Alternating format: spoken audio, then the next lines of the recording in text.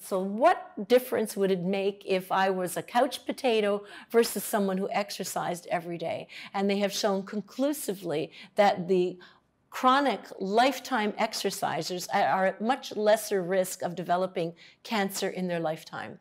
Uh, so, they have an increased immunity, so called, to cancer.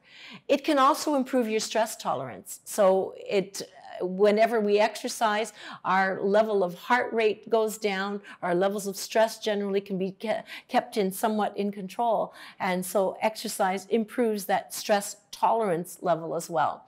It can prevent weight gain and obesity, and so many cancers are hormone dependent cancers, and the fat is what stores these hormones by and large. And so by reducing the amount of fat generally in either our viscera or in our bodies in general, you're storing less therefore, of the, um, uh, of, of the fat and obesity that might be pro-inflammatory. It prevents fat increases in the hormone-dependent cancer, so many patients develop greater weight, gain weight when they have cancer, and that stops it. And it increases colorectal health.